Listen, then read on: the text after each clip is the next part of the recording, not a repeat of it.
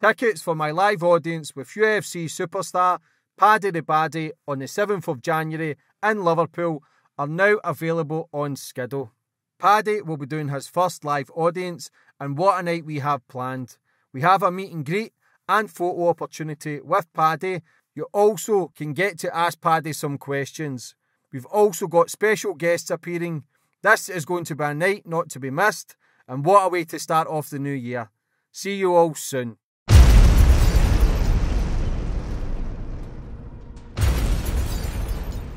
You can now follow me on all my social media platforms to find out who my latest guest will be. And don't forget to click the subscribe button and the notifications bell so you're notified for when my next podcast goes live. I got locked up twice in one one uh, Bruges. Uh, forget, no, was it Anderlecht? Anderlecht got locked up twice there, and uh, police said next day him again. Uh, got deported from Bruges, a load of us, uh, frog march onto the ferry at Zeebrugge. Spent two days in the in the the game. Spent two days in a police police in Bruges. You know what I mean? So, well, I can remember meeting Bill Gardner when he come off the train one year, about 50, 60 of him, ICF, about 1982. Bill walked down the road. Uh, I can remember the police saying we, we all met right near the train station, and we was there used to be a few pubs at the train station. King John at the time, we was all in there. I can remember the police coming in and said, "You lot better get off because the ICF are on the way." I think the police had picked them up at Leicester. You better get yourself home, lads. You ain't going to no match for these boys. The first line to the jury was the um, prosecuting barrister put my book up to the jury. This man even writes about his adventures. You know what I mean? He does TV shows about his adventures. That was the first line, the first day of the Crown yeah. Court. A lot of people will never get it unless you're involved in it. A lot of people will never get it. Mm-hmm. To this day, I'll still get slagged off. You know, doing talks like this. Who does he think he is? You shouldn't give him publicity. You know, I've just done the documentary for Italia 90. You get comments. People, you know, I, I read the comments. You know, why are you giving these people the the time of day? And you know, you shouldn't give them any airtime. You know what I mean? But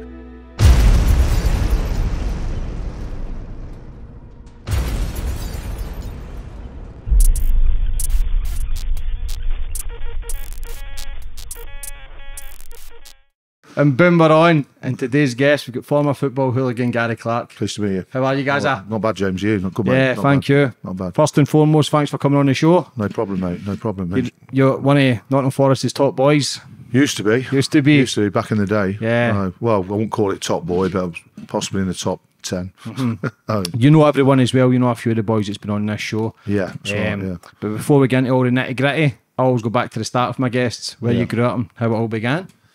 Well, I grew up in the inner city Nottingham, in Sneinton, um, in an old terraced house or cobbled streets.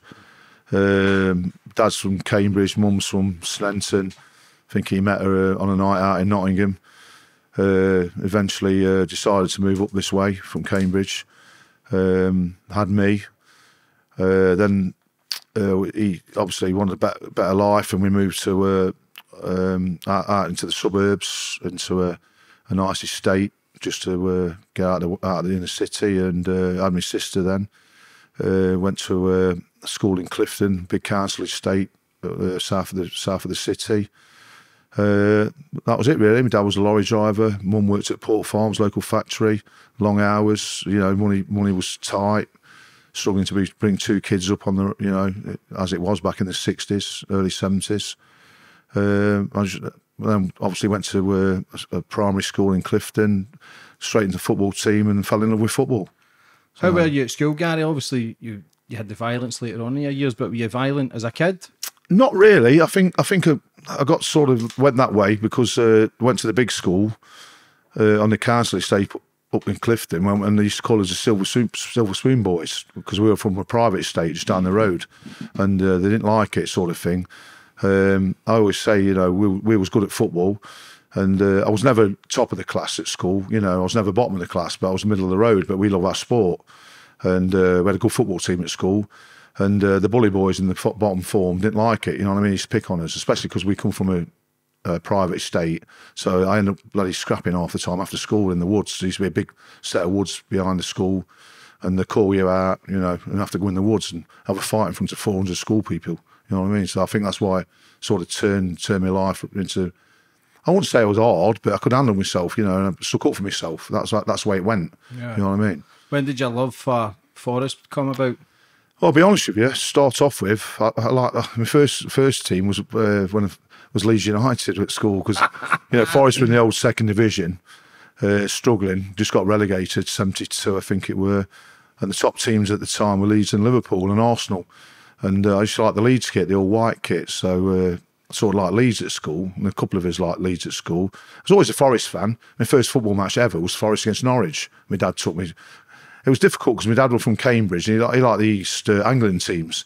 And then uh, Norwich were top of the league in the old second division, just got relegated. And he took me to uh, Forest and Norwich. Uh, I think I was about nine. And uh, Norwich pumped Forest 3 1 that day. But I fell in, fell in love with, with the game then, you know what I mean? First football match ever. And I was begging him to take me to a Leeds game, and he took me to a couple of Leeds games. My granddad took me to Notts County and Leeds, up Leeds, League Cup, and County beat them 1 0. Uh, remember, never never forget that. And that was 1975.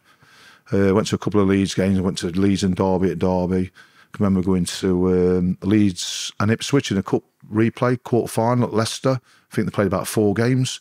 So Dad took me there, dragged dragged, uh, managed to drag him there, but he didn't take me to many Forest games. And then uh, Forest got promoted in '76, and uh, one of my dad's mates, uh, he had a season ticket, and uh, he got sent to prison fighting. And he's not he wasn't a violent lad, but he's just got end up in a scuffle in the pub, end up doing six months in prison. And uh, he said, "Hey, give, give your lad that season, give this, me a season ticket for the rest of the season."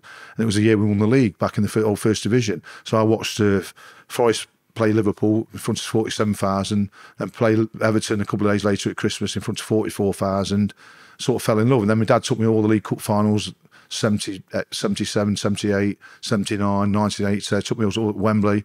You know, I got, I got the bug then. You know what I mean? Was there much violence in the 70s with football oh, yeah. hooligans? Yeah, oh yeah, yeah. I, I, noticed it. You could tell, you know, there's a lot of trouble at Forest, uh, mid to, well, probably early to mid, late 70s. They used to have a firm called the Forest Mad Squad. And uh, used to, I used to stand on the Kop, and the away fans used to be in the east stand to your right hand side, and all you could see was everything, everything going. You know what I mean? It was bloody riots everywhere. And Forest had Andy Fearn back in, in them days as well. I can remember going to the League Cup final, 980, and uh, we're walking down Wembley Way.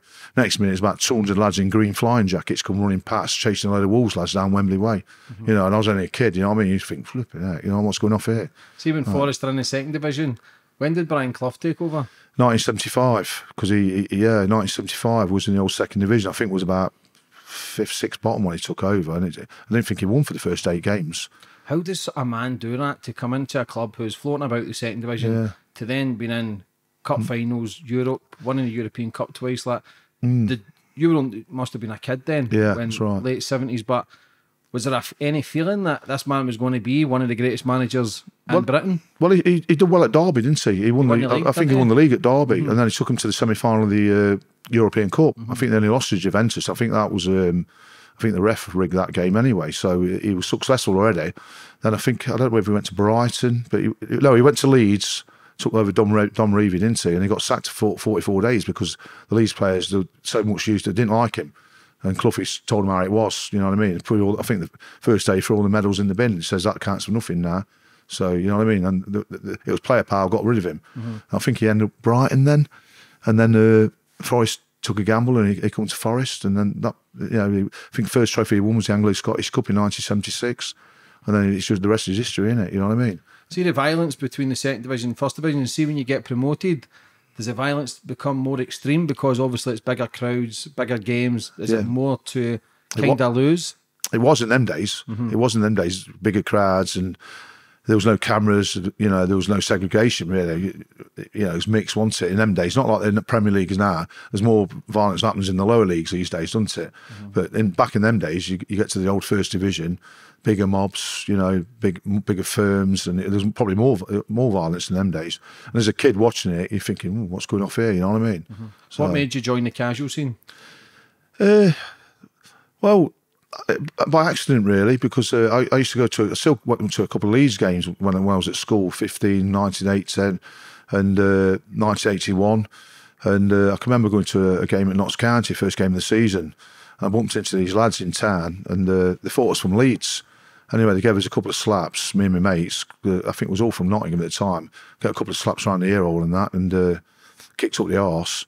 And the police come. And anyway, so that's the first time I discovered drinking. So I was going out, just left school then. I was still at school then, 15. So a few weeks later, I just left school, started going in Nottingham City Centre, and I kept bumping into the same lads that gave me a slap.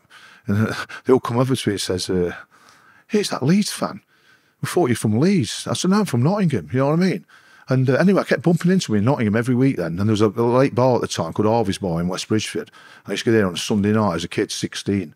And there was always in there. Anyway, I got friendly with him. And there, there was always trying to sway me to come away with him to Forest. You know, come come with us lot, you know what I mean? And uh, I must admit, I went to a few Leeds games, and uh, all they did were wreck things, smash things up. You know, there was that many of them. Mm-hmm. The Forest, the Forest firm at the time was all in jail because a Middlesbrough kid got killed at Borough, so a lot of the main lads were locked up, locked up at the time, and uh, there, there weren't that many of them, but they, they, were casual. And I was I was casual. I was casual last year at school, and that's what I liked about the football scene. I was noticing out different different firms, different areas, different cities were doing different stuff. You know, I like I like the way everyone dressed, so I, I really got into it. And um, anyway, they got me one one week. They said we're going to Arsenal. Do you fancy going to Arsenal with us? I was go on then. I relented. So I go on, I'll go Arsenal with you. I went on the service train. I think it's 53 of us went on the service train. Back in the day, the old Highbury Stadium, there weren't many Forest went away then in them days. I think it was 1982. And uh, used to have ticker tape in the middle of the uh, old clock end. And to get to your end, you had to walk through the Arsenal fans. I think I had a Pringle on, faded jeans, wedge haircut. And the, the old Bill escorted you in, but we just got everybody. I was covered in saliva. Couldn't to get to the Forest section. I was just covered in spit. You know what I mean? After the game, we went back to King's Cross. Arsenal landed at King's Cross and there's running riots all, all over the shop. You know, it was back and forth. Anyway, the police got fed up with it and uh, said, right, you lot stop here on this corner. I think it was about 35. They arrested the whole lot of us, 35 of us, put us in court and uh, got to knocked up at Holborn Police Station. They said, right, you're in court such and such a date. And I said, well, I can't make it. I'm already in court in Leicester that day. So they put my, the, the Forest lot had two minibuses to go to court in Holborn and they set a trial at uh, Elephant and Castle, IRA court, two day trial. So we all had to go down for a two day two day trial down at Old, uh, Elephant and Castle. Uh, spent, I was more excited about a night out in London. You know what I mean? I think I got eighty pound fine you know, they're trying to send our main lads to prison, but I think they come away with 150 quid. But back in 1982, it's quite a bit, a lot of money, wasn't it? You know what I mean? So I got, I reckon that's when I got the bug We're going away with Forest casuals. You know what I mean? So they were doing sentences then, but early 80s. Oh yeah, yeah. There's a lot of our lot locked up at the time. Uh, one of our lads got four and a half years at Middlesbrough. A lot of lads got locked up at Middlesbrough six months. A lot of the Borough lads got locked up, you know, for a fray. So you know, it was, it, it was big, big, big prison in them days, wasn't yeah, it? Yeah, because I thought you know it mean? started in the nineties when people started getting big no, sentences. No, got, you know, one of my one of my good mates got four and a half years back in the day. How was the the fight set up then back in the day, early eighties? It was spontaneous, really. You know, early eight. It was early. You'd, you'd, you'd say, right, we're going away game. There's either service train or vans and cars. Meet at the nearest pub to the train station. You know, and would and that was a crack. We would mob up at the train station. You know, wherever you went, he was going to you was going to get it in another city because everyone had a mob, didn't they? Mm-hmm. You know. What was the the casual scene like then? Was it Fila? Was it uh, yeah? Was that Fred. Perry? Uh, it started off with Slazenger jumpers. I mean, Liverpool started it, didn't they? Late mm-hmm. 70s. Mohair jumpers, wedge, wedge haircuts. They used to go to Europe, coming back with all. Then the sports gear come in. You know, it was, and then it was Slazenger jumpers. Then Pringles came in, Lyle and Scotts. Then it was Fila, Lacoste you know, Leslie's, mm-hmm. you know what I mean? And Forest got back in Europe and we come back with a new wardrobe, you know what I mean? So, because in them days, you didn't have much money, you know what I mean? Yeah. So, see, when Forest are winning everything, then does it? Do you then become a target? Does Forest fans become a target because they're they are winning, or is it just a case that it's all the same? Uh, no, because we're a big club, weren't they? Because we're winning stuff. You know what I mean? We're a big team, and, and you know, we, to go to uh, other other cities, you know, Forest are in town. You know what I mean? And so everyone turn out for you. So yeah, it, it cause more problems really being mm-hmm. successful. You know what I mean? Who was the toughest firm you came up against? I'd say West Ham. West Ham, without a doubt, they were scary. They was, especially going down their place. You know mm what I mm-hmm. mean? Yeah, West Ham. Man United were good. Were good because they had the numbers. You know, but they were good anyway. Uh, Arsenal were pretty good back in the day as well. Um, a lot of Portsmouth, you know, a lot. Of, you know, everybody had a little mob, but the, yeah, Middlesbrough were good. Birmingham, best probably the best in the Midlands. Forest were good. You know what I mean? They could hold their own. Mm-hmm. You know, but even Leicester, they had a, they had a decent baby squad. I get Derby. You know, Derby always have a fight. You know what I mean?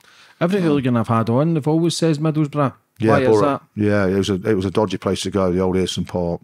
Yeah, it was. A, I can remember going there night game. It was it was an eerie place to go. You know, they travelled everywhere as well. They went everywhere. You know what I mean? You- oh, tough, tough, tough city. Well, tough town, isn't it? You know Did you I mean? ever go away to Europe with Forest? Yeah, yeah. Um, I, I missed the European Cup day, so I was still at school, and, and my dad never never took me. You know what I mean? Because he's from Cambridge, and I had no one to take me. I went to a couple of the home games, obviously, but uh, when we got back in the UEFA Cup, 1983, started travelling, had my own money, then started going away with him. You know what I mean? So then started getting a few scrapes and locked up abroad. You ever- Unfortunately, yeah. What was it like being locked up abroad? uh, I got locked, up twice in one one uh, Bruges. Uh, forget, no, was it Anderlecht? Anderlecht got locked up twice there, and uh, police said next day "You- you- you- him again. Uh, got deported from Bruges. A load of us uh, frog marched onto the ferry at Zeebrugge. Spent two days in the in the missed the game. Spent two days in a police police in Bruges. You know what I mean? So then then you, you didn't really bother. You know what I mean? It's just all part and parcel of the fun. You now what I mean? again, you go to places like Poland, Ukraine, like they're all MMA fighters. They're all. Yeah, tough bastards. right. Like, like, Yeah. Did you ever see any professional fighters back then, or was it just a case of free for all? No, no. I, I- must admit. I mean, I, I, I've travelled with England from the mid mid eighties, and uh, there wasn't really anybody to touch it. It's probably the Germans. The Germans always big lads. Uh, G- uh, Germany eighty eight. You know, they'd they'd hold their own sort of thing. But didn't notice the Poles till probably early nineties, and uh, went to Poland away twice, three times. I missed missed one game because I got stuck in Germany. But uh, the Poles, you know, you could tell, you know, the train. You could tell there was fighters. You know what I mean? But uh, be honest with you, back in the day, England didn't give a two hoots. You know what I mean? That you know, it's all right being like that. You know what I mean? We've got to have it up there as well. Uh, Bat a bottle. yeah, yeah. Why do you think England are always at the forefront? Every World Cup, Euros, it's always England causing it. Like, do you think that's just ingrained into the football hooliganisms kind of things? I think it's, it stems from the sixties and seventies. You know what I mean? I mean, there's nobody back in the seventies. It, it, it's gone full circle now, and England calls it. uh, You know, and nowadays not bothered, are they? Everyone's packed it in. You know, we're all grown up. Um, it's mainly fans that follow England now. Back in the day when I went in the early 80s, you'd take four or 500 fans away and they would all, be lads. I'm coming with the old Yugoslavia in 87 and it was just all boys. It took four or 500. When we won 4 1, Lineker scored all them goals. It was just pure boys. No one was scared, you know what I mean? And there were dodgy places to go. Turkey, Yeah. you know what I mean? What's the difference fighting for England to fighting for Forest? Is it the same or is it a kind of different buzz? Uh, I, I used to enjoy going with England back in the day, but when it was just pure lads. But nah, I don't, I don't like it. I I don't. I ain't been to an England away game since Munich in two thousand and one. Uh, I don't get. I don't like going away now with England because there's too many cheer throwers and too many idiots that cause trouble for no reason. You know what I mean? Back in the day, it were boys that used to like, like have a drink, and you know, if someone came, came, it came. You know what I mean? But these days, it's a bit more mindless. You know, mindless violence. So Yeah. I don't, I don't like things like that. You know, I don't, be honest with you, these days, I don't, I don't like violence anyway. You know, bloody twenty years since I got involved in football trouble. Now, you know what I mean? So. What was it buzz like for you? Was every week? Did you start forgetting about the football and just concentrating on the fighting, or was it? Do you do both? Yeah, event, eventually, yeah. I think uh, mid eighties sort of thing. The football went out the window, and it was, you know, early. uh, You know, I was a football fan. I've always been a football fan, but once you got into the casual scene and you started getting your mindset started going that way, gang culture and that, it, it was like, you know, are we going to get something this Saturday? You know, you. You, you plan your day all week, you know what I mean, and what we're going to do, where we're going to meet, how we're getting there, and uh, it was a buzz. You know, we're going to meet like like like minded lads that want to have a go at you. You know what I mean? And, and that took over the football then. You know what I mean? But like you say, I'm a football fan. I've always been a football fan, and we know more about football and what people think. You know what I mean? Yeah. So, What about Millwall? Why are they always high up the ladder with the respect? Were they high? Were they respected in the seventies and eighties also? oh yeah, yeah, without a doubt, they've always been respected. I, just, I, I think they've got a conveyor belt that just keeps running them off. you know what I mean? They, they, they get like that many get locked in locked in prison, get banned. No, I think they just got like a, a factory machine that just keeps. Mm-hmm. Getting them, you know, like rolling them off. Yeah. I've never seen so many of them. You know what I mean? Mm-hmm. And they all come from from the estate. You know what I mean? It's a dodgy place to go. You know what I mean? Who's a tough? Who's the like a tough man you've you had respect for like with the firms? Well, I can remember me- me- meeting Bill Gardner when he come off the train one year, about 50, 60 of him at ICF, about 1982.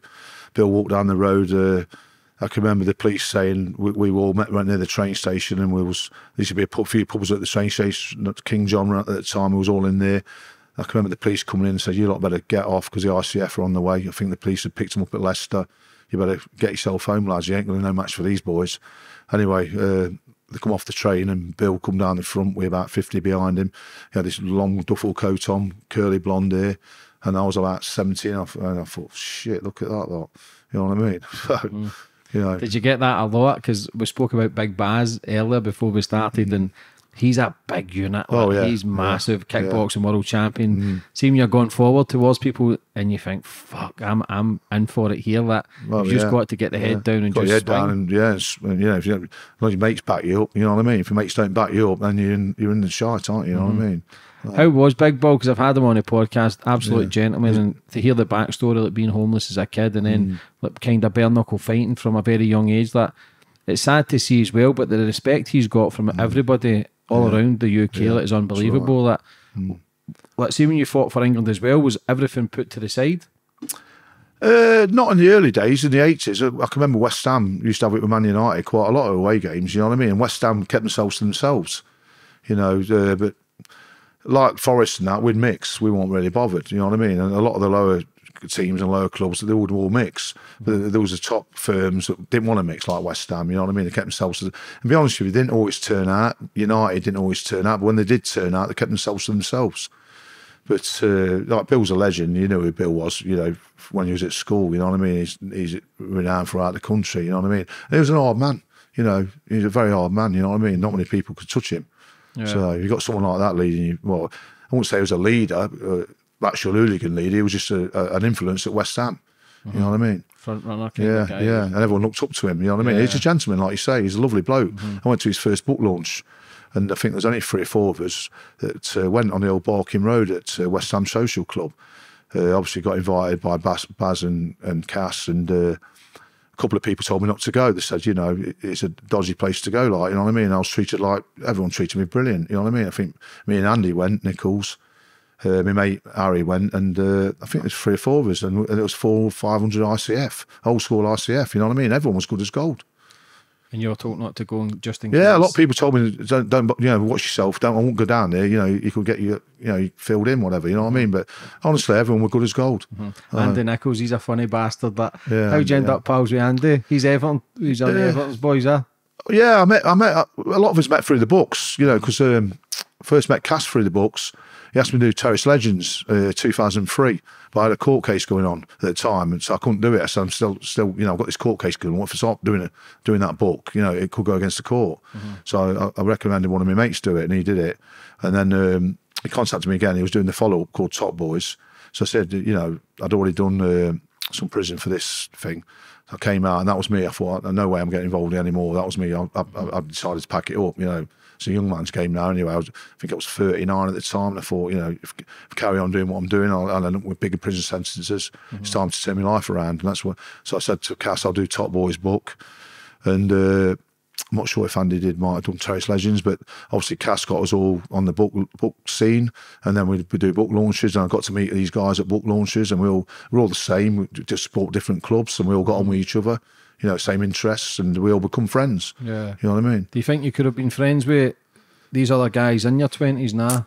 Uh, it would have been more difficult because uh, a lot of lads didn't like you bringing other other lads from other cities in, into your into your like uh, back back back garden. You know what I mean? Mm. And it's very rare that happened in the eighties. You know, uh, I had a couple of mates from Sheffield. They used to come over and I used to go England matches with them, and uh, they come. They was all right. You know what I mean? But if you brought someone in I don't know. It wouldn't have happened back in the eighties because someone somebody would have got upset and there would have been, you know what I mean. Mm. So, it, it, and then the England scene got bigger in the nineties. I think with more lads going and become more friendly with each other, mm-hmm. and it, uh, and then back end of the nineties, early two thousands, everyone started mixing more. You know what I mean. So even the cameras and that started coming about. Did it become more harder to organise?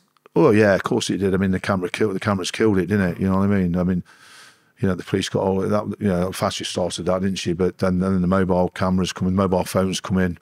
Um, once CCTV was all over, it's most police uh, cameras uh, country in Europe, in it. Mm-hmm. You know what I mean? You couldn't do it. You'd get a knock on the door six months later. You know, it's a waste of time. You know what I mean? Yeah. No. See, when you start getting the jail and stuff, do you? Is it just want to come straight back out and straight back involved, or do you start reevaluating things? Well, I got I got um, Borstal detention centre in the early 80s, 84. you know, at um, Nevada, I never go back in, but um, it didn't deter me, to be honest with you. It didn't deter me. I got even more into it. But uh, when I got that prison sentence in 2004, then that, I thought, you know, because I was offered to do a book before that and I refused it. Why? And, and uh, I refused it because I was still active. And I, didn't- and I thought once you do a book, you, you can't get back involved. You, You're a mug if you do a book and then you get involved again. You know, and I got in trouble uh, 2006, and then I, I was I was in the pub at the wrong time. The pub went up, and obviously because I'm there, three months later, my door went in, and I, I spent a week in Crown Court. And uh, if I'd got found guilty at the end of it, I was looking at three years in prison.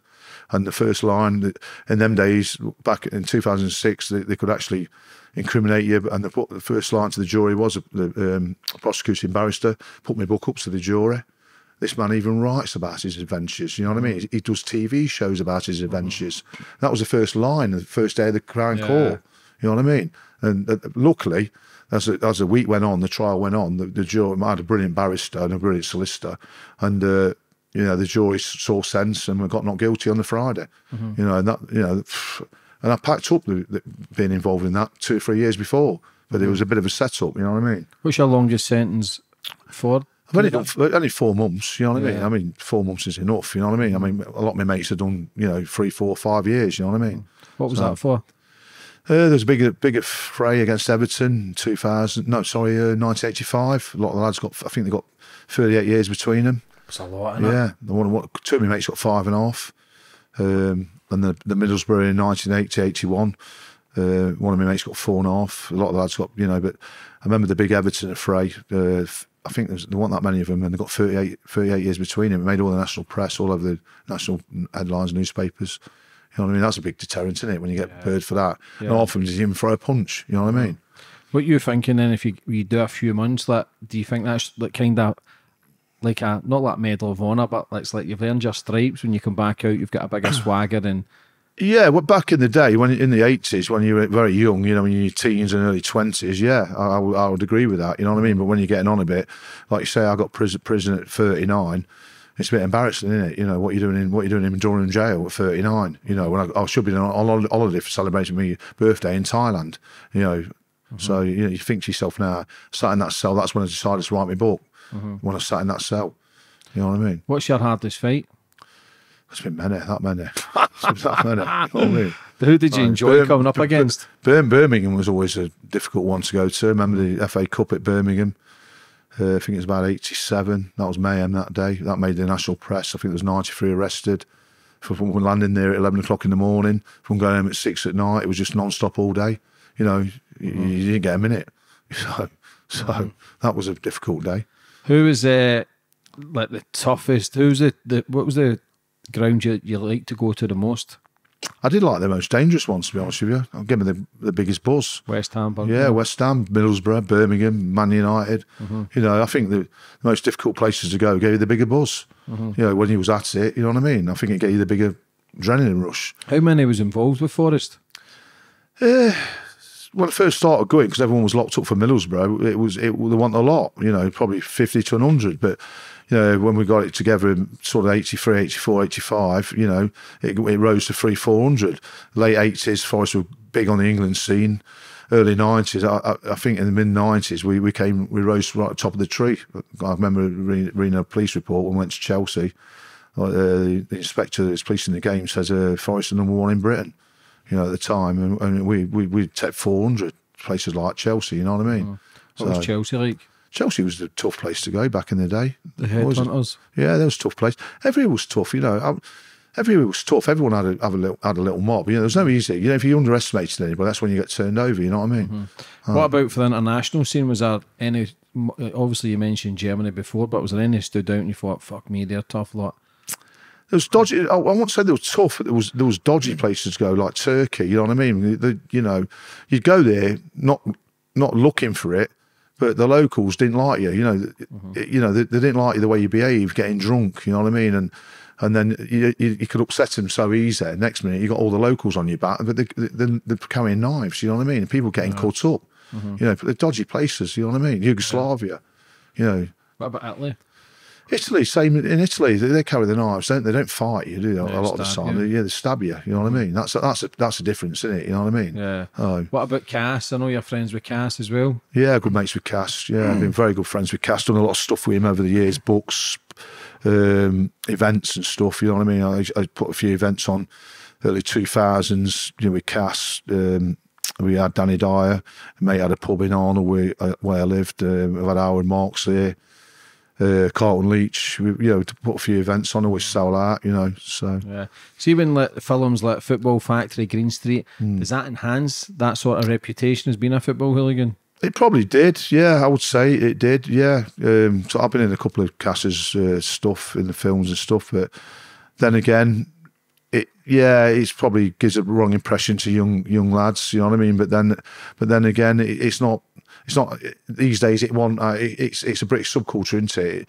You know, they're always going to film stuff about about it. Everyone finds it interesting. Same with the mods and rockers and the and the Teddy Boys back in the fifties. There's always going to people want to film, make films about stuff like that. You know what I mean? So it's no difference, is it? It's it's been happening for seventy years in British culture, Yeah. hasn't it? You know what I mean? Why do you think it's so popular? Why do you think people love these sort of chats as well, like the football violence? Like, why is it? Do you think it is popular? I think because people find it interesting because normal Joe Bloggs, you know, it's, they find it interesting because they haven't been part of it and they want to have the bottle to be part of it, and it makes good TV, and you know, so Because uh, you'll get people saying, "Oh, grown men they should join boxing or MMA." Like, yeah, I agree with that as well. I Yeah. totally agree with that. You know what but I mean? how does it? What is that buzz then? Like to be at the forefront if there's a hundred men, two hundred men all fighting. That is that a totally different buzz from people? People can't really understand it if Mm. they've never really done it, have they? No, no, I don't, no, you know, a lot of people will never get it unless you're involved in it. A lot of people will never get it. To this day, I'll still get slagged off. You know, doing talks like this. Who's you think he is? You, you shouldn't give him publicity. You know, I've just done the documentary for Italia ninety. You get comments. People, you know, I, I read the comments. You know, why are you giving these people the the time of day? And you know, you shouldn't give them any airtime. You know what I mean? But if you don't do it, you know, I always preach to people. We did it back in the day. You know, and I, I don't I- you know, and we know it was wrong. We know we all know it was wrong, but you know, we did it, so we ain't going to get out of it. You know, and people ask us what it was like, and I always say to people, it, it's, it wasn't worth it. But I, I, you know, I want to meet the people I met, I met these days. Fans have done it. You know, I mix with nice people these days. I'm, I mix with TV stars, and you know, and I Got get a to, book? yeah, I got a book out. You mm. know, and second book's going to come out. And uh, people know I'm all right. You know, they wouldn't have me in the company if they didn't think I was all right. You know what I mean? And we all make mistakes in life. You know what I mean? Everybody's got too much to say, but these conversations, like I've interviewed murderers, Yeah. bank robbers, drug lords, letting people love them because it's their chat. Not Yeah. you don't just because I interview them doesn't ag- mean I agree with everything. Yeah, that's done, right, It's, that's right, It's just yeah. Mm. an interesting story how people go down that path. That's right. And why they do it and what they've Yeah. done, and we can all make changes when we go. We can all look back and go, ah, I shouldn't have done that. Mm. Yeah. Everybody makes mistakes, but there'll been a time in your life you'd have absolutely loved it and thrived on it, and Mm. been that brotherhood sort of. Who, was interviewed Paul Doyle, and that's what he says. He had two sets of friends. He had the gangsters and he Mm. had the football casuals. And he says he would go with the football casuals 100% of the Yeah, time if need yeah. be because there was always 100 of them and there's 100 of them wouldn't turn away. That's he says right. all the gangsters would snitch on each other, Yeah. turn on each other. Yeah, you don't know whether they're going to kill you. Yeah. you know what I mean. These lads will get they'll have your back. You know what I mean. You can trust them. There's not many you couldn't trust back in the day. And over the years, I've become good friends with different firms as well. You know, we're really good friends. I want to meet them if I've gone down that path. You know, I go to uh, when I go to away games now. You know, I go to Bristol City. The Bristol lads take me hospitality. They come up to Nottingham, have a night out. I take them hospitality.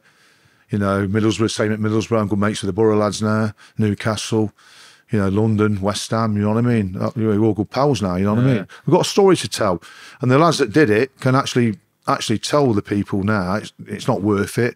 You know, and we're role models to tell them, you know, it's not worth it. Keep out of it. You know what I mean? That's what we try and do these days. I do a lot of talks. You know, I don't like, like to encourage people to get involved in it. You know, I talk about the past. You know what I mean? But you know, it's the future now. Yeah. You know, I will tell people it's not worth it. You know what I mean? You're not glorifying it. It's not No. as if if you were speaking to if I was speaking to you and you were in your twenties, you'd be saying, "I love this life. I Yeah. do what I do." Like, Yeah. but Yeah. Mm. like you say, people get people get older, people make changes, and at that time, people have chosen that path right. because it's all they knew. Yeah. feel, what was it like though to feel part of like a gang and people who would have your back no matter what? Was it empowering? Well, yeah, because I mean, at the time, you, you know, you're, you're talking nine, early 1980s Britain when there wasn't like work about. you know, and, and the jobs you got were mundane jobs, you know, and you had to listen to a load of bollocks off some idiot that didn't, didn't have a clue, you know what I mean?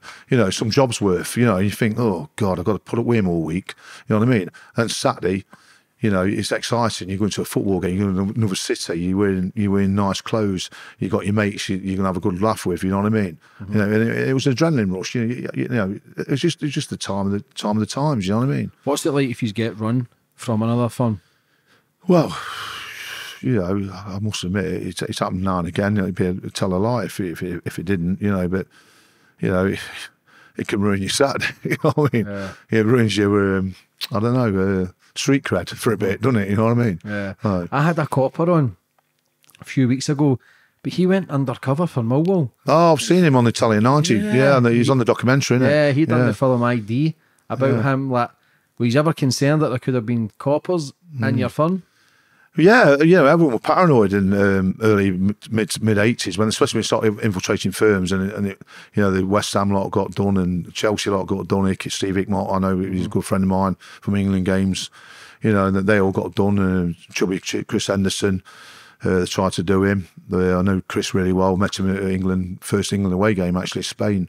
I, I, I went, went on a bus with the Chelsea lot from uh, from uh, Chelsea on Sunday night. What a trip that was uh, eventually become good friends with Chris, and he, he emigrated them, like, them on the money they got off compensation. They all emigrated to Thailand and bought bars, mm-hmm. ended up buying the bar off him in, in Thailand off Chris. You know what I mean? Mm-hmm. So, how many people would fight for England? Well, yeah, uh, yeah, we all come together, didn't we? You know what I mean? Uh, like I said, I said in Italian 90 interview recently, nobody could touch England in the uh, 80s, uh, early 90s. Nobody could touch us, you know what I mean? So it's only it's only it's all come full circle now. It's come back to Haunters really, hasn't it? You know what I mean? Mm. You know, look at look at bloody Marseille with the Russians now. You know what I mean? So it's come back full circle, hasn't it? How was it when you see? Was it who was it? Was it the Leeds fans who get killed? Yeah, in Turkey, Turkey. Yeah, in Turkey. Yeah. How is it yeah. when you, you read things like that? As a possibility it could have happened to yourself. Well, that's, that's right because I went to Turkey with England, mm. and uh, like I said earlier, you know, they carry knives. You upset the locals. You know, you probably not doing anything wrong. The Leeds fans probably won't do anything wrong. It's probably a bit mm. boisterous in the pub, singing Leeds songs. Locals don't like it. Don't like getting drunk. You know what I mean? That somebody got abusive to somebody. Next minute, the knives are out. You know what I mean? They haven't really done too much too much wrong, mm-hmm. And that's what these countries used to visit. That what that's what happened. Yeah, you know what I mean. That's the sad thing. Isn't it? It's sad. You know it's sad I mean? when yeah. it, if it's families going to the game and there's they're caught in the crossfire. That's right. It's probably you know, like you say, that's probably happened because of because of the reputation of England fans in the seventies and 80s mm-hmm. You know, watching that Italia ninety program over the last couple of weeks you know, everyone's afraid of the England fans and the locals all turn out for you and they, they don't take no shit. They don't want it to do on the, on their doorstep. Yeah. But half the time, the England fans are just having a good time. And they, that, that's not their culture, is it? England fans like to just get drunk, have a bit of a sing song, and half the time they think you're trying to cause trouble, but they ain't. You know what I mean? Mm-hmm. Uh, How is it when it's all over the news, though? That do you think the news glorify it a bit more? Well, yeah, the papers did glorify it. You know, mm. I said this recently in that documentary. I can remember going over to Germany in '88, and you know, and uh, the papers glorify it. You know what I mean? You know, it, it, it, was paying people to cause trouble. You know, the press were out there actually giving lads money. Go on, go and play, throw some glasses, do this, do that. You know what I mean? That's what the press were like back in the 80s. Mm-hmm. Why uh, do you think there's so much negative press when England playing World Cups and stuff? Well, it's, it's, it's always been the same, hasn't it? It stems from the 70s when England ran right around Europe, doesn't it? You know what I mean? Mm-hmm. Um, I think Italy was the first tournament. There was trouble in 1981 there, where the CS gas went up, gas went off behind the bar, uh, behind the behind the stand. I think England, Italy won it. Mm-hmm. You know, and England's always had a bad reputation in tournaments since then. The Spanish police were heavy-handed in '82. There was trouble in Spain in '82, weren't there? Uh, even in Mexico '86, I think the Argentinians caused more trouble than anybody. A lot of England fans got attacked in, in Mexico by Argentinian fans. You know what I mean? Um, and then it was Euro '88. There was a lot of trouble out there. You know, England. That was when England really started going places. Um, like Scotland used to come down in the '70s, take over London, didn't they? And then the very early '80s, England fans had enough for that. Thought that we'll start going up to Glasgow, and uh, and we, I think I went to Glasgow 87, 89. That's when we first started travelling. But we went to a previous one, England, first time I ever went. Uh, England thought, well, you know, because the Scottish over used to take, take, over London, didn't they? You know what I mean? But I think England fans had enough of it eventually. Thought, sod it, we're going to defend London. You know what I mean? Hmm. So, Do you miss it? Not, not really, not really. Now, you know, my life's moved on. It's changed. You know, I don't mind talking about the past. It's it's what I did. You know, I don't like violence now. I've got a 12 year old son that I take to football. Uh, you know, uh, you know, you, you, look back and think, in them days, not many families went to football. You know, it wasn't a family orientated game. It was just pure lads or football fans.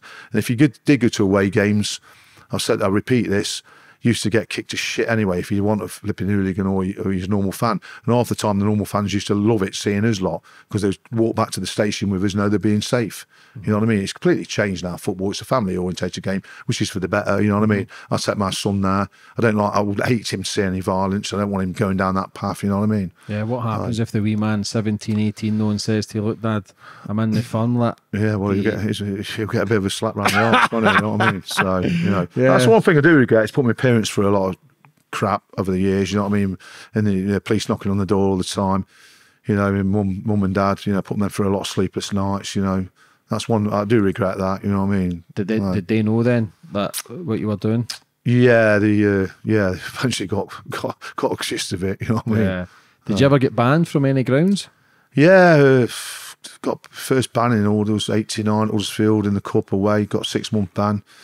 Uh, then I got banned again at Birmingham early nineties. I think that was another six month ban. And then uh, then when the civil banning orders come out, 2000, they, they, put me in one. They had me down as a major leader at England games, and uh, we had some trouble in Greece in Athens. Um, because of that, the uh, the British police decided to put civil banning order on me. They couldn't take you, they couldn't actually arrest you for what happened in Greece, but there was a new law come out, civil law, and every I think every police officer that followed England, they had a trial in Nottingham at civil court, magistrates court, it was kangaroo court, and every police officer that used to follow England come to witness against me, and they gave me a three-year civil banning order, and then uh, I went to England, Turkey, just after the Leeds thing, at Sunderland's ground, and uh, they're basically telling me they wrote me a letter saying I, I want. At the time, you you you you, you could go to that was when England started changing from Wembley when the new Wembley was being done, and used to travel around the country doing games. Um, there was no law to say I couldn't drink in that city, but they reckon they sent me a letter saying I wasn't allowed in Sunderland that day, but I never got a letter. You know what I mean? I, I actually ended up getting in some trouble with uh, Sunderland fans after the game. I got arrested and uh, obviously went to uh, Crown Court in Newcastle you know, and that's when I got eventually like prison in Durham. Mm-hmm. So, but uh, then, then obviously that I mean, the civil banning order was just coming to an end, and then when because you went to prison, they put a maximum six year uh, banning order on you. So I eventually got banned for nine years. I, got, I didn't see Forest for nine years. So. Yeah, so when does it become tiresome then? Like, well, that, that, that, that did become tiresome then because uh, I, I, got really friendly with the Newcastle boys and uh, obviously at the time they didn't really know the law. They said I'm banned from England and Forest games. So I thought, hang about, I'll go to Newcastle in Europe. Then Newcastle in Europe because we're under Bobby Robson. I started going a few Newcastle away games in mm. Europe. Anyway, Newcastle coppers stopped me in Rot- Rotterdam. I said, what are you doing here, Gary? shouldn't be here. I said, well, nobody told me I can't go to Newcastle. So uh, anyway, Nottingham Police had a word back with me when I got back and uh, then I got a a letter from the uh, British police saying, "Oh, you're and your passport in for Newcastle games when they play in Europe." And was in Europe in, the, in them group Champions League games. Mm. I was at the bloody police station in Arnold every every other week, handing my passport in then for about another six years. That got tiresome, you know what I mean? Mm-hmm. So yeah, and then you got to apply to go on holiday somewhere, and they wouldn't give you you couldn't go on holiday because you got to hand your passport in. Uh, you know things like that. You know what I mean? Yeah, it's, it's the the the shit that happens after doing all that, you don't yeah, realise the extent. Yeah, then, no. and then it's obviously it can affect family. It can affect, yeah, like you say, family yeah, holidays. holidays. and everything. You know, you get stressed. You know, mm-hmm. and then I met my second wife. Uh, just as the banning order were coming to an end in 2010, and uh, I had my son in 2009. And uh, first game back, I thought I'll go to Forest and Leeds. First game back ever was Forest and Leeds. Couldn't get a bigger game. Uh, anyway, the local police. Uh, I went with my second wife, and uh, and then I, got friends with Forest captain at the time for a mutual friend, and he started inviting me in the players' lounge. And I had a security at Forest come up to me in the players' lounge. What are you doing in here? I said, Well, I've been invited in. You know, he couldn't he couldn't do anything about it. He didn't want me in. He said, I want a meeting down. He invited me down the ground to have a meeting. They was going to put me on a, another civil banning order. They was going to try and put me on a civil banning order to ban me from Forest. You know what I mean? But I refused to go to the meeting. I didn't go to the meeting. Yeah. So, but they couldn't do anything about it. If I didn't turn up at the meeting, they couldn't do nothing about it. What was it like going back to a game after being banned for? It was very weird, very strange, very weird, weird, weird, feeling. Yeah, I was nervous. I'm not telling lies. I was nervous. Mm. You know, I thought the eyes, I thought every, everyone's eyes was on me. You know what I mean? It, it was weird for a while. How were you treated in prison? Very good, actually. Uh, it wasn't too bad because uh, all the screws were Newcastle lads, and I knew all the Newcastle boys, and they, they told them, oh, I'm all com- I'm coming in, and they looked after me. Actually, you know what I mean. So I got looked after, luckily, because it was a Cat A prison. Oh, there was murderers on me wing and everything. You know what I mean? And you're there for football. I mean, just football. When it told you on the door what you're doing, the geezer opposite me said life. I ain't got a clue what he's doing. He was he, he wasn't very nice actually. I didn't really speak to him. On my door it says four month. All he wanted to do was cause havoc, so I'd do me full four month. You know what I mean? Mm-hmm. So he's not bothered. He's doing life, isn't it? You know yeah. what I mean? Uh, that's that, yeah, but if you're doing life and somebody's doing four months, you're going to be angry at him. Mm, do you yeah, know what I mean? Like, yeah, yeah. What was the daily routine like? I, I, kept myself to myself. I mean, they put me in with somebody that was a. Uh, in for fraud, uh, defrauded a company he worked for, and he was a family man. Um, and he, he, was terrified. You know, I looked after him, they put me in with him. Um, and then eventually they moved me to a, an open prison. He didn't want me to go, you know what I mean? So I, I just stayed in, it was 23 hour, 23 hour bang up. You, you, could go out for exercise, but I'll just stay in there with him, my meals in there with him. Keep your head down, you know what I mean? No mm. confrontation then, is it? You know what I mean? Yeah. So, How hard is it when Forest lose the reputation of being a team in Europe winning trophies to then getting relegated? Like, does that fuel you more, more anger going to the games or? Uh, yeah, well, they got relegated to the third league while I was on one and banning order actually, mm-hmm. and um, so I didn't see all the crap. You know what I mean? Going to bloody Chester away on a Tuesday night, but because uh, we were the big fish in the third league, and at the time a lot of our lads were on banning orders, about hundred of us. So that's when the firm started disbanding, and we didn't, didn't really go. And uh, a lot of the little clubs took advantage of that. You know what I mean? But mm-hmm. and then once I got the six-year banning order, they put me on a radius. So I, I wasn't allowed to go within ten miles of Nottingham Forest playing. But on, when I was on the civil banning order, I used to go Cardiff away and just sit in the city centre and have a, a, night out and a drink. You know what I mean? Mm-hmm. But I wasn't allowed to go anywhere near it after that. You know what I mean?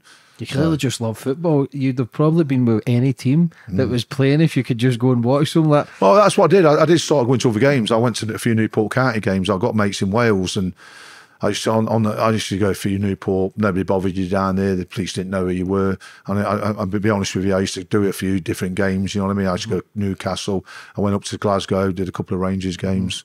You know, um, I went out of the way. I, just, I still want to watch football, but I, I, went offside. You know what I mean? So Did I still you, got me for football buzz. Did you fight for other firms? No, no, no, no. I just went for a drink and a day out. Yeah. I wanted to. I was just watching pure football then. You mm-hmm. know what I mean? Because My, I know some boys have went. I know. I think it's Tottenham and Aberdeen have got a good connection. Yeah, they have. That's right. Which yeah, I thought yeah. was weird. I never knew that until last year. That did you grow a connection with any other firms while you were active? Yeah, yeah, yeah. Um, we, we we become good friends with FC Cologne in Germany. Um, How so? Uh, well, I, got, I, went, I, went, over there for watch Newcastle uh, at uh, Leverkusen uh, because I said earlier the police got me in Rotterdam and uh, I shouldn't really have gone, but I, I, got paranoid and I stayed in Cologne. We were based ourselves in Cologne and Leverkusen's up the road like Nottingham to Mansfield. I got paranoid and stayed in Cologne on my own. And I watched the game in this Irish bar. It's like this lad kept looking at me. Anyway, I got up, I went over to him. So what are you looking at? You know what I mean? He goes, uh, no, no, no, no. I said, uh, he said, uh, you Newcastle? I went, yeah, I'm Newcastle. He goes, I'm FC Cologne. I said, oh, okay, mate. Let's have a beer. Shook his hand. And I said, I'm Forest. I'm from Nottingham. He goes, uh, do you know Gary Clarke from Nottingham? I said, I'm Gary Clarke. He won't believe me. I had my passport on me. He goes, look, I'm Gary Clarke. He said, I, I remember watching BBC Hooligans Panorama and Gary Clarke's on there. You know what I mean? And we say mates. They invited me over to a clone game a few months later. Mm. So I went over and I thought he knew everybody.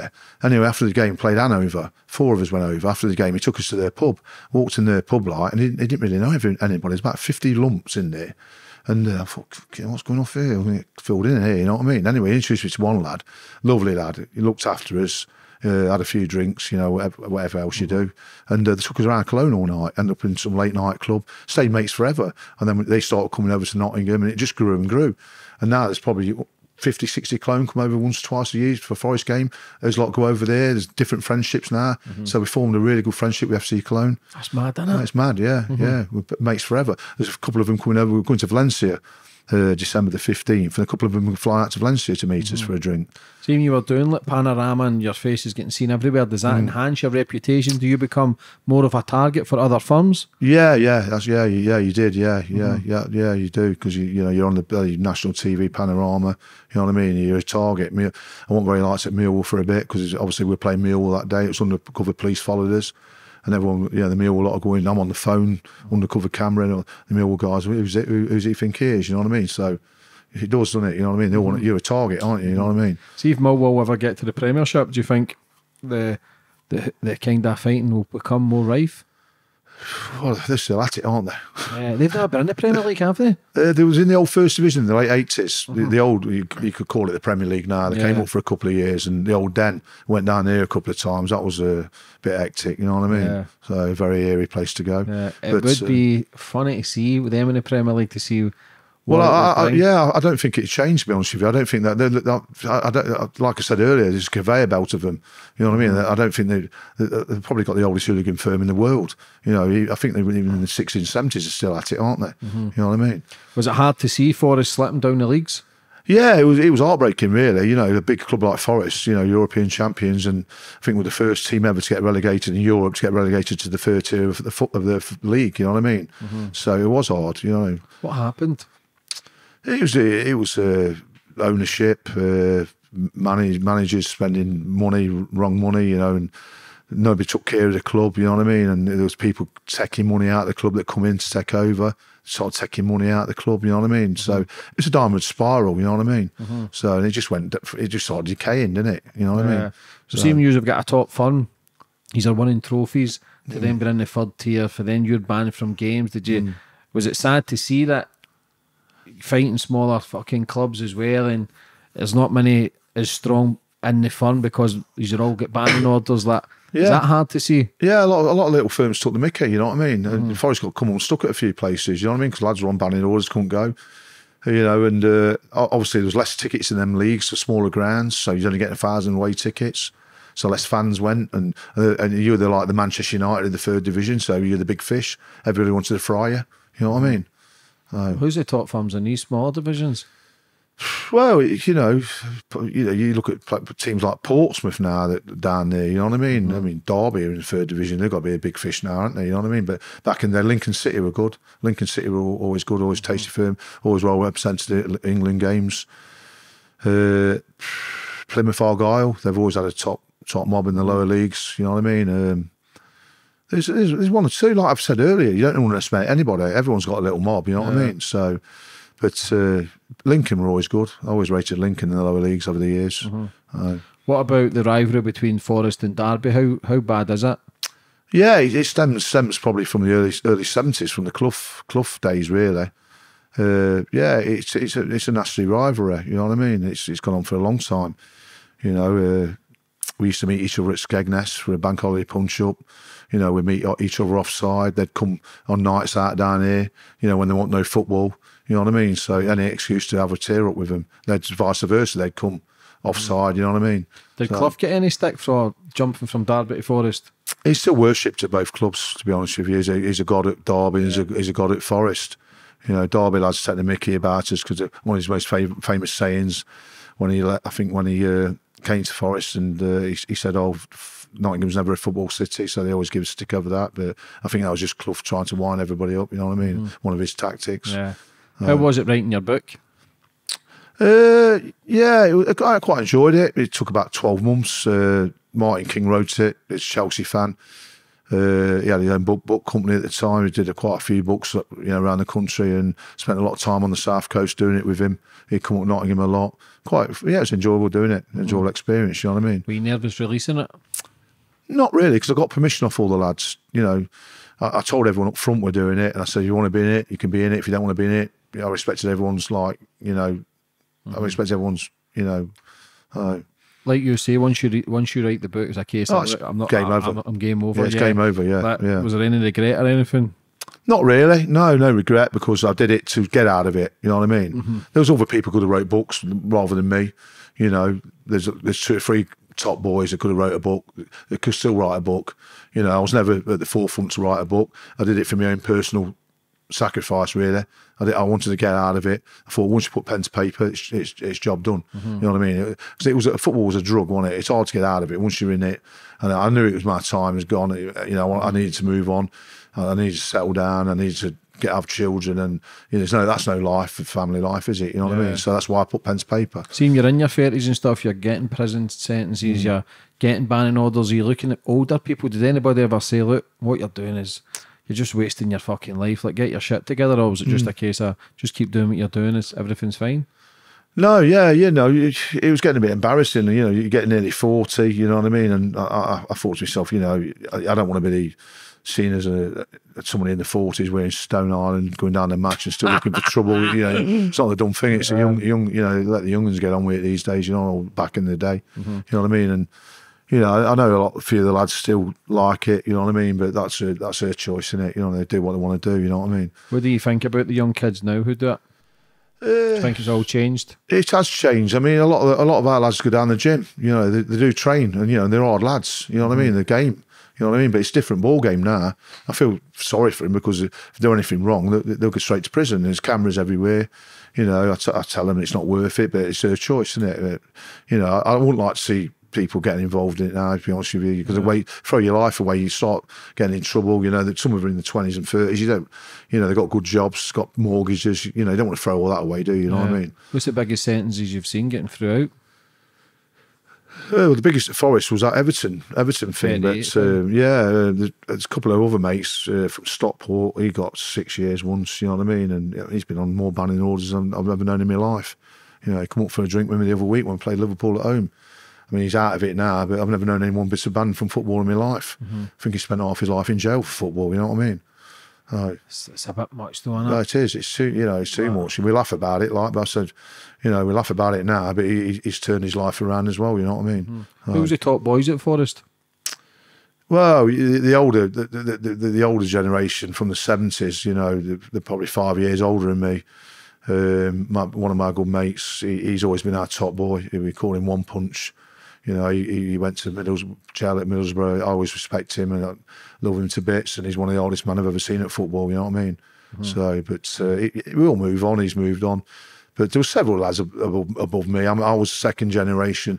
There was the 70s generation. I was the early 80s. I was a casual generation. You know what I mean? And a lot of lads around me backed me up. They're older than me. You know, I couldn't do all the stuff I, I, I did without them backing me up. You know what I mean? What's that like going running towards people and you've got people backing you up like, and you know they're not turning away like Well, it's, a, it's adrenaline rush, isn't it? It's a buzz. Mm. You know what I mean? You know you're not going anywhere. You know what I mean? Vice versa, they probably the opposition knew they weren't going anywhere, so it'd be a big tear up. You know what I mean? Till the till it, everyone had worn themselves out, or the police came. Mm-hmm. You know what I mean? what's the biggest head to heads you've came with at the firms? How many people in each? I came out at Man United at, at uh, Kilburn. They had about 500. They did that day, the League Cup final. That was like the start of the London Marathon when you look down that road. Mm-hmm. You know what I mean? That was frightening. you know what I mean? We actually stood it, we stood his ground for a while, but we just got turned over. The pub got turned over. But uh, you, couldn't, you know, there's just, just too many of them. Pure swamped us, you know what I mean? But uh, we had some tasty rows with Middlesbrough over the years, toe to toe. Some good ones with Boro, Birmingham. You know what I mean? And Man United, we've had a few with Man United over the years. The League Cup quarter, uh, FA Cup quarter final, Old Trafford. That was a mayhem day as well. You know, it's there's been there's been several. You know, even the little ones. I used to enjoy it when they, uh, they want so many.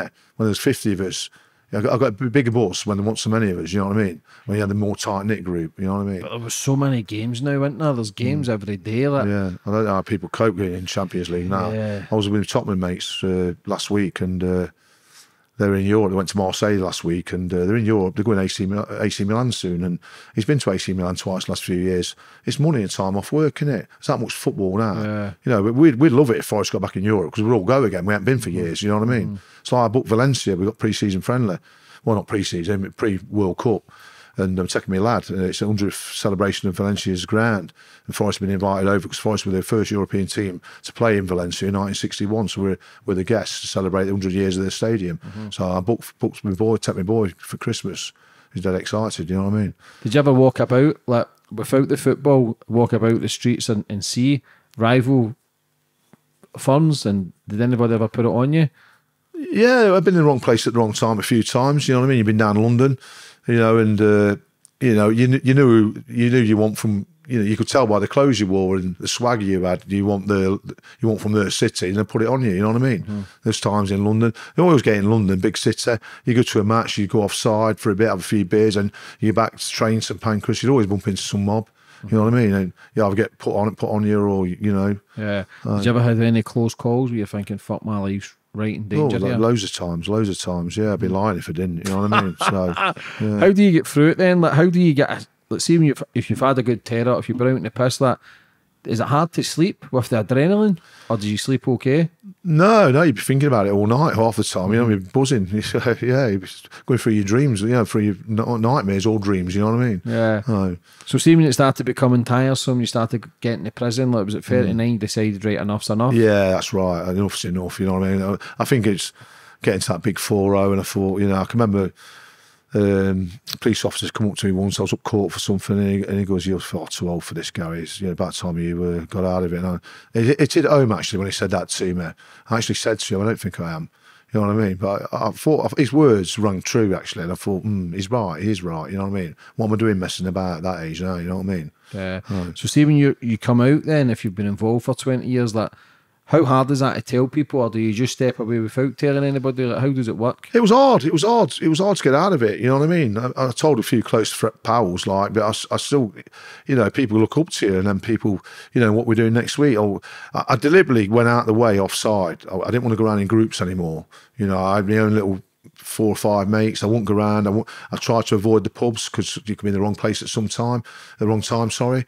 You know, if I go to the pubs where I knew the lads were drinking, something happened, I'm in that pub, you, you know, I could be stood at the bar, something might happen, you know, and because of my reputation or whatever, I could get, I could get in trouble again. So I, I deliberately avoided them pubs mm-hmm. for a long, for a few years, you know what I mean? association, basically. Just yeah, he's guilty by association, yeah. and, and, and, and give you a banning order. If you're seen in a pub full of two hundred boys before a game, I actually been, I was told when I started going back to Forest by the security, if we see you down here in a group of more than 10 people, we're having you, we'll ban you from Forest. I was actually told by him when I started coming back in 2010. Mm-hmm. He actually warned me.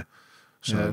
How hard was it to stop? Like, like you decided, right, enough's enough, and mm. say you know there was a good firm down the road and it was going to kick off. Like, is it like an addiction where you're totally fighting against it, or, or did it become easy because you knew that it was just becoming a waste of time? It, it, it, it, was easier because because obviously I got that banning order where I wasn't allowed for a, for a few years from 2003 2004 and I wasn't allowed back till 2010 so I didn't go anywhere near it for a while.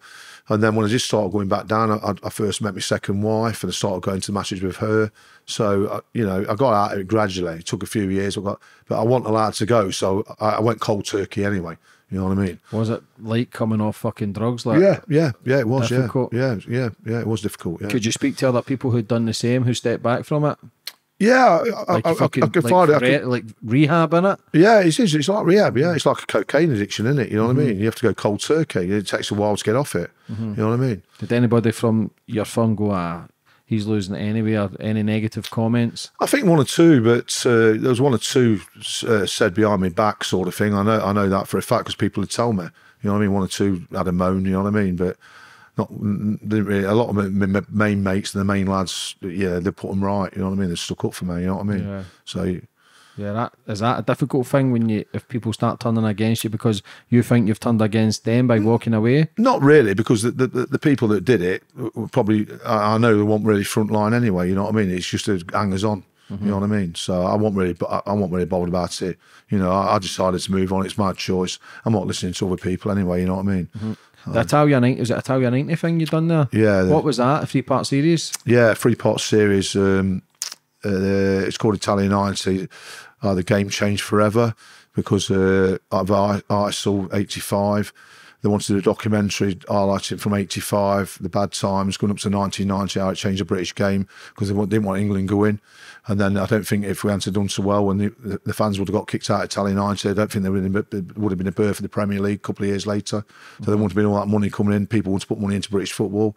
So it did change changed, you know, football forever, really. Mm-hmm. You know, and England getting to the semi final got the feel good factor back, didn't it? Mm-hmm. You know what I mean? Brit for the British game. Yeah. Oh. How was that seeing England like semi finals, and does that make you miss it when you're seeing such big events and partly you wish you were well, bang involved, or is it just being good mm, now, being a family man and enjoying it more? Well, yeah, I didn't, I, I didn't, I didn't go to England. I didn't go and watch England from 2001 um, until my, lad wanted to go. Obviously, he started liking England, watching it on telly, and I took him to a Nations game uh, two, three years ago, and then obviously the Euros last last year.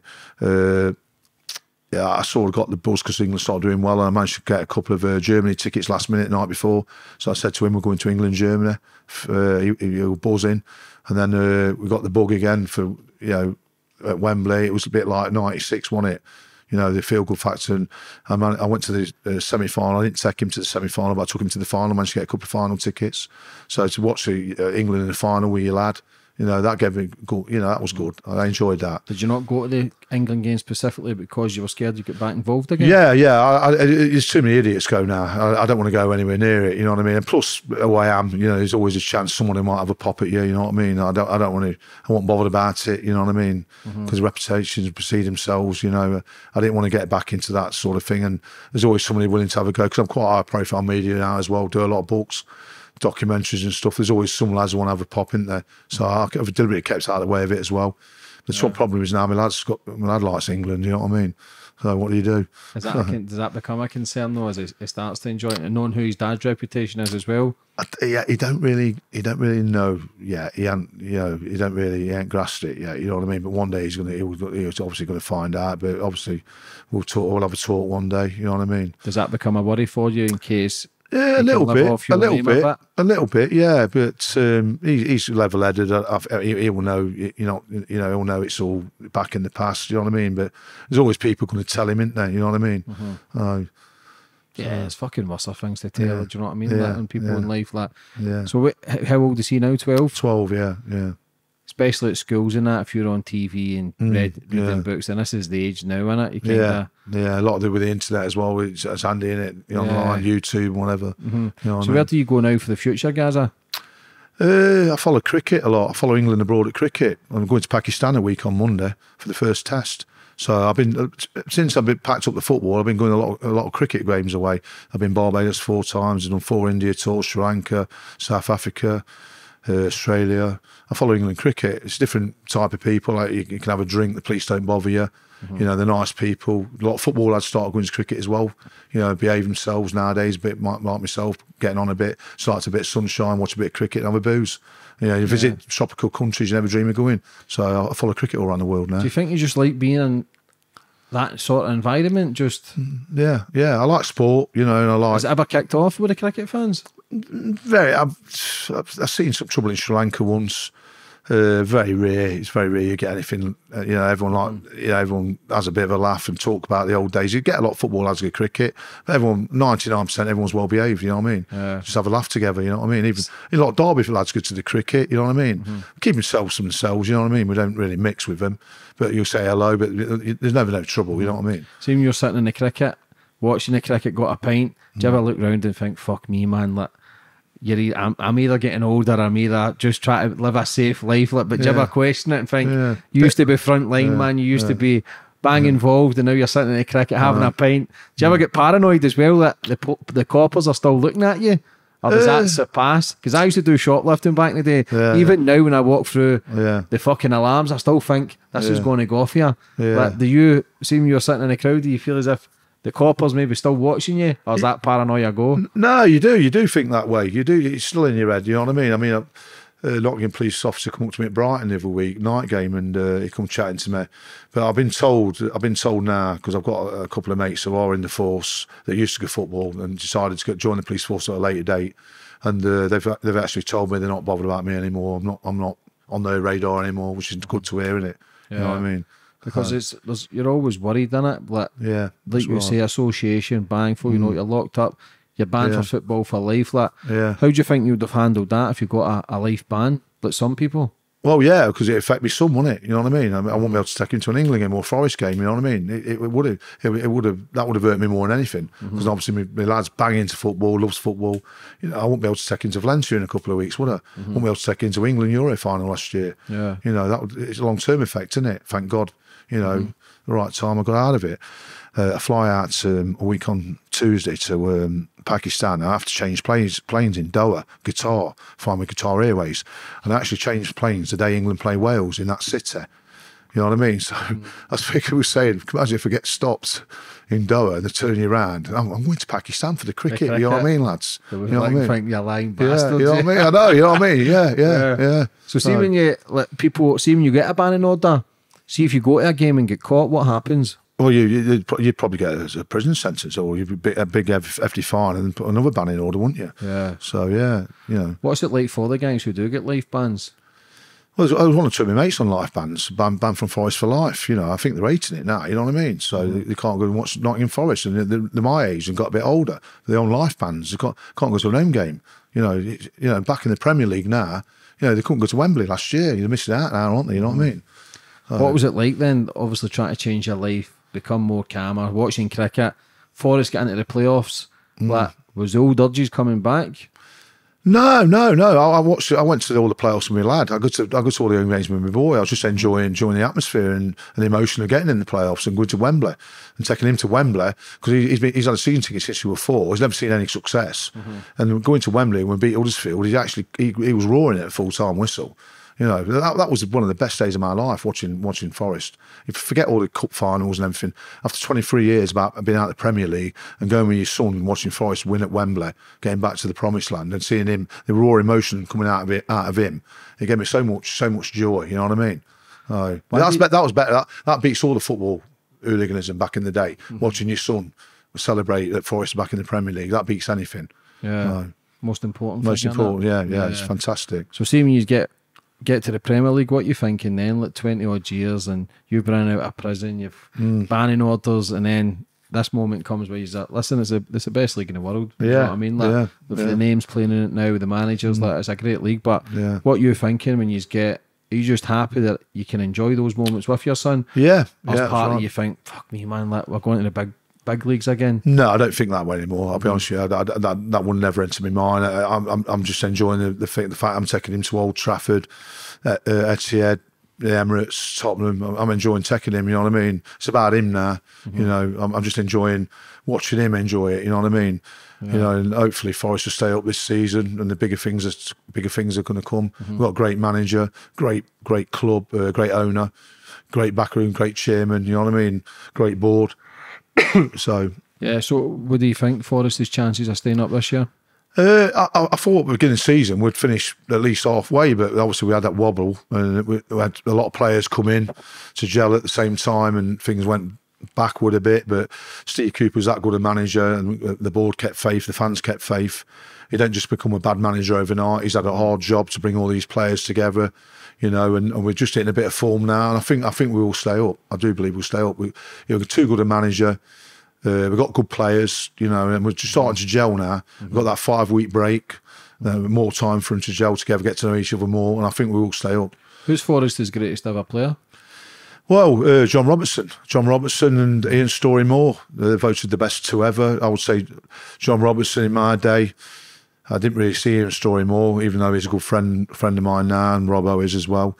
Uh, Stan Collymore, great centre forward I've ever seen down there. To be honest with you, I've got we had two years of Stan.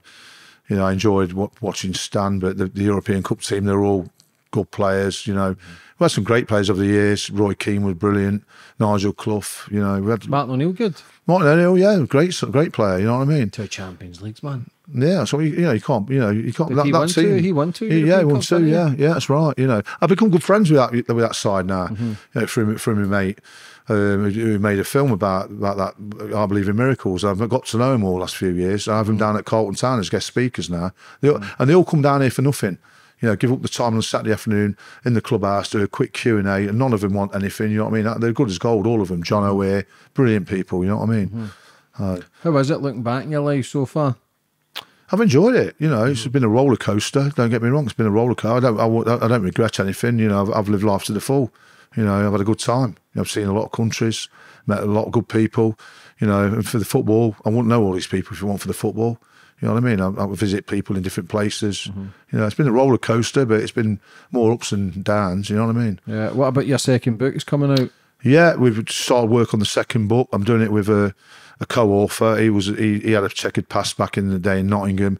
Different. He's a Forest fan as well, but he, he runs a global world charity now called World Game Changers. I'm a patron for them. We do a lot of good stuff in the community. Um, so I've been helping them out the last couple of years. I got to know them during COVID.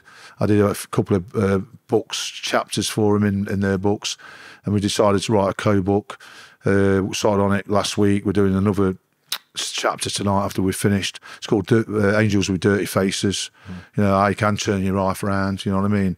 You know, it's not all doom and gloom, even though what we did in the past. But now we do a lot of good stuff in the community. You know, I work down here for this club. you know, I work for that charity as well, so we try and put a bit back. You know what I mean? Yeah, that's what we're talking about earlier. Having a positive impact because you Yeah. do a lot for this club. Let's talk about this club and give it a shout out. So, Yeah. what is it you do here? I'm marketing and commercial, commercial manager. Marketing commercial manager. Uh, I've, I've got to know him last few years. I used to come at a few fundraisers at Christmas. Got to know the chairman. And during COVID, uh, we want lads to go and watch Premier, uh, First Division football, but non-league football. You can still come and watch it. So I started coming down to a few games. Really enjoyed it. You can have a drink at the side of the pitch. And uh, unfortunately, uh, the, the um, commercial manager passed away through COVID. So there was a, a void at the club. We left it courtesy, you know, to the family and everything. We left it while the chairman asked me, "Do I fancy doing the job?" And I thought, "Oh, yeah, it's a privilege. You know, yeah, I'll come on board. You know, he knows I know a lot of people. I can bring a lot of funds into the club. Got a lot of good mates willing to help out. You know, and I get contacts and uh, I'm enjoying it. Putting and I believe in putting something back into football and taking it out like I did in the eighties. You know what I mean? Yeah, so this is Carlton Town. Carlton Town Football Club. Yeah. How was it when you first came? Was there any raised eyebrows because of your past? Yeah, I think there was. I mean, uh, the chairman told me recently. You know, he said, you know, I'm not going to lie to you. He said there was one or two people questioning the decision. You know, why you why you taking Gary on? You know, with, with his checkered past. But the chairman said, you know, he's a complete change guy. You know what I mean? We've got total faith in him, and he backed me to the hilt. You know, and um, which is great, isn't it? You know, somebody's having a bit of faith in you because not everybody has faith in you because they, look at the past all the time and they think you don't change. You know what I mean? Yeah. Uh, But fair play to you, man. Like, for anybody that's watching, because you've been a man who's been in the, involved in it to then changing his life, for anybody that's maybe in a life of crime or being dodgy like, or maybe struggling in life, what advice would you have for them? I'll say there's, you know, you can you can turn it around. You know, there is life after after it. You know what I mean? I've done it myself. You know, I was in the doldrums.